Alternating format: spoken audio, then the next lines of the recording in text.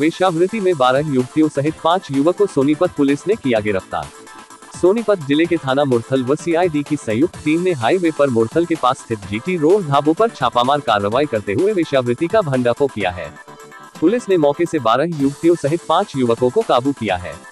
विभाग से मिली जानकारी के अनुसार उप पुलिस अधीक्षक मुख्यालय विपिन काद्यान के नेतृत्व में संयुक्त टीम ने मामले की जाँच शुरू कर दी है और पुलिस ने मामला दर्ज कर लिया है।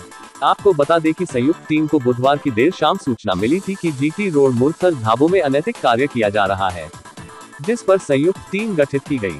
पुलिस टीम ने ढाबों पर छापामार कार्रवाई करते हुए वहाँ से 12 युवतियों व पाँच युवकों को आपत्तिजनक हालत में पकड़ा। पुलिस ने उनके खिलाफ मामला दर्ज कर लिया है। गिरफ़्तार युवतियाँ दिल्ली क्षेत्र की रहने वाली है।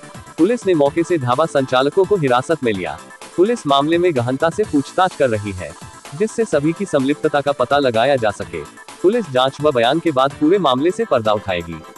हमारे न्यूज़ चैनल हरियाणा लाइव 24 को लाइक शेयर सब्सक्राइब करना न भूले।